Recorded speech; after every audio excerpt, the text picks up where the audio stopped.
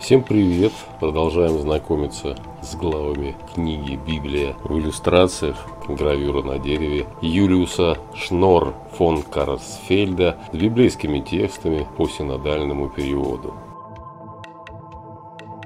Победа Гедеона над мадианитянами.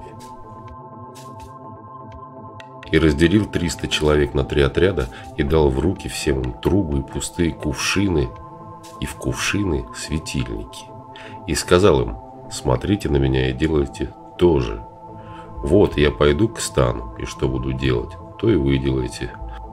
Когда я и находящийся со мной затрубим трубою, трубите.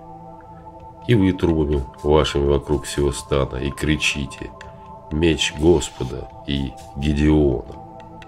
И пошел Гедеон и сто человек с ним к стану в начале средней стражи и разбудили стражи, и затрубили трубами, и разбили кувшины, которые были в руках их.